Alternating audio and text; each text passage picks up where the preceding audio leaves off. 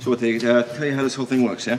Well, your PA did, sort of. No, it's an easy concept. We pick a winner, send them on our way to track down a superstar. You film it, bring it back for next week's show. Two days travel in and out, four days on location. It's, you know, it's a doddle, really. A doddle. Oh, yeah, absolutely. Last series, nobody even came close to the target. But hey, it's reality TV. It's all about the journey, not the destination.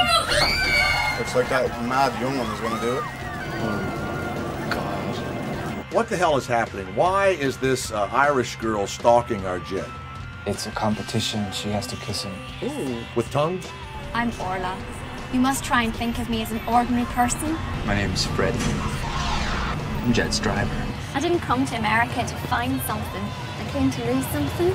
We think we have him trapped in here. He's on his way. He must be working late.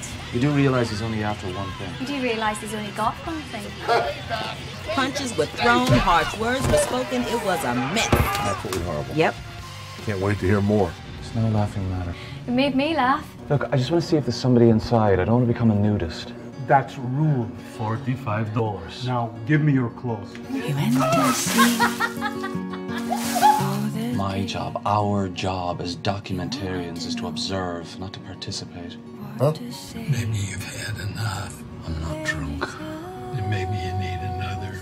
Chicks dig old guys, man. God, Ray, are you spending time thinking about what I say? I mean, mind you, they're usually rich old guys. Look, Ray, I'm not your responsibility, okay? I'll look after myself.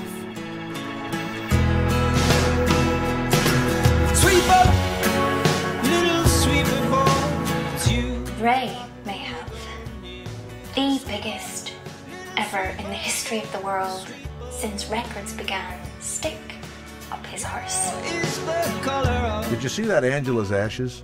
No. That's considered a comedy in Ireland. Oh, no. Stop. I'm telling you. the sun.